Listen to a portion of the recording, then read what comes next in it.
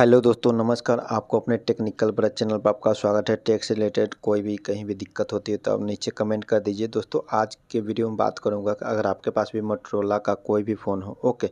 अभी देख सकते हैं मोटरोला ई सेवन पावर करके मेरे पास फ़ोन है और इसका एफ़ आर पी बाईपास करना है, ओके। ये देख सकते हैं, मेरा ये इसका एफ़ आर पी लॉग लग गया है।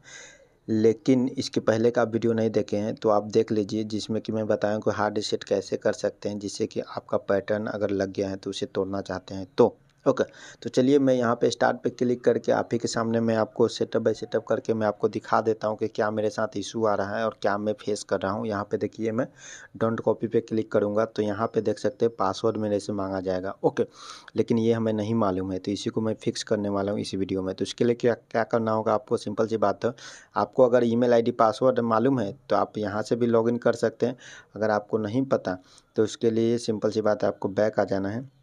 पूरा बैक बैक आ जाने के बाद यहाँ इमरजेंसी कॉल दिखाई दे रहा है, इस पर क्लिक करना है। उसके बाद यहाँ पे आपको इमरजेंसी इन्फॉर्मेशन दिखाई दे रहा है, इस पर क्लिक करना है। इसके बाद दो बार उस पर टिक करना है। उसके बाद क्या करना है, यहाँ पे पेंसिल का आइकन दिखाई दे रहा है, इस पर क्लिक करना है। फिर आपको यहाँ पे आपको दिखाई दे रहा है नेम एंड ऑनर तो आपको इसके प्रोफ़ाइल पे क्लिक करना है, लोगो पे। फिर यहाँ पे लोगो दिखाई दे रहा है, इस पर क्लिक करना है। फिर यहाँ पे चूज़ एन इमेज दिखाई दे रहा है, इस पर क्लिक करना है। फिर उसके बाद यहाँ पे जैसे क्लिक करेंगे तो यहाँ पे थ्री लाइन दिखाई देगा, इस पर क्लिक करना है। फिर यहाँ पे गूगल ड्राइव दिखाई दे रहा है ना तो इस पर थोड़ा देर तक लॉन्ग प्रेस किए रहना है। जैसे लॉन्ग प्रेस किए रहेंगे तो इसका ऐप इन्फॉर्मेशन मीनू खुल जाएगा। उसके बाद आपको परमिशन पर क्लिक करना है।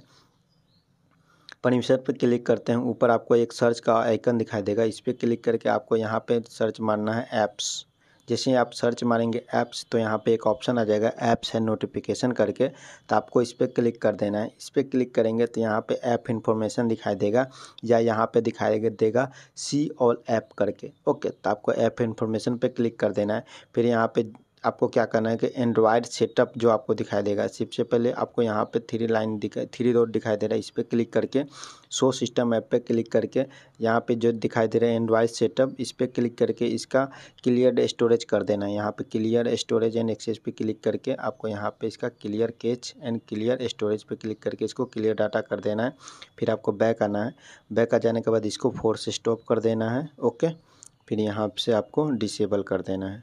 ओके डिसेबल ऐप उसके बाद बैक एक और एंड्रॉयड सेटअप वाला है ये, इसको भी वही कर देना है. सेम क्लिक करके क्लियर एंड कैच ओके उसके बाद बैक उसके बाद है फोर्स स्टॉप उसके बाद क्या करना है? एक स्टेप बैक आना है. बैक आने के बाद यहाँ पे आपको सर्च मारना है गूगल प्ले सर्विस जैसे आप गूगल प्ले सर्विस आपको दिखाई देगा यहाँ पे.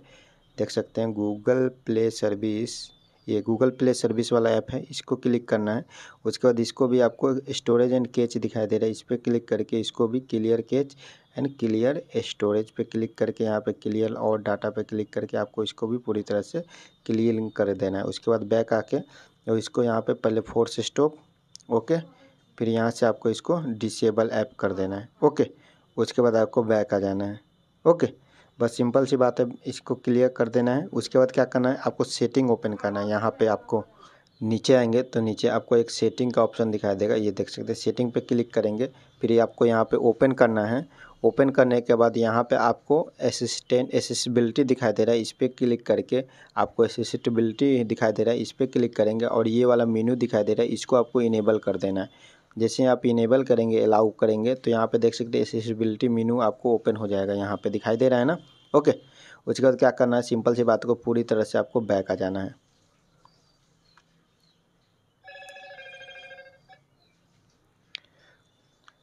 बैक आ जाने के बाद फिर से आपको स्टार्ट पे क्लिक करना है। स्टार्ट पे क्लिक करेंगे, फिर से आपको स्किप करना है। सिंपल सी बात है। ओके उसके बाद यहाँ पे जो एसेसिबिलिटी आपको दिखाई दे रहा है। ओके यहाँ पे क्लिक करेंगे और यहाँ असिस्टेंट दिखाई दे रहा है, इस पर क्लिक करना है। जल्दी जल्दी। ओके असिस्टेंट पे क्लिक करेंगे, फिर एसेसिबिलिटी पे, फिर असिस्टेंट तो फिर यहाँ पे एक सेटिंग करके एक ऑप्शन हाईलाइट होगा। ओके, यहाँ पे चेक इन इन्फॉर्मेशन जैसे सेकेंड नहीं तो यही करते रह जाएगा आपका।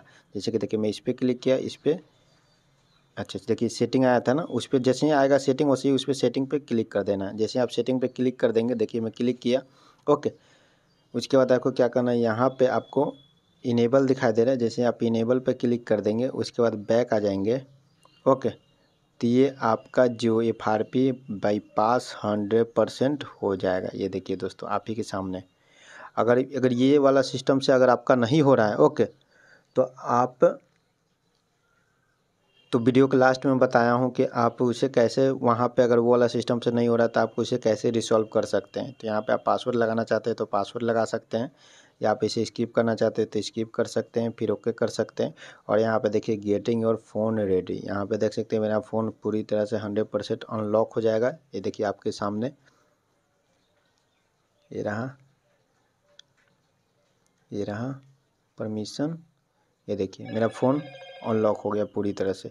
अगर फिर भी दिक्कत होती है, नीचे कहीं भी हुई प्रॉब्लम तो आप नीचे कमेंट कर दीजिए। ओके। तो चलिए मिलते हैं नेक्स्ट वीडियो में। तब तक के लिए दीजिए इजाज़त, धन्यवाद, जय हिंद।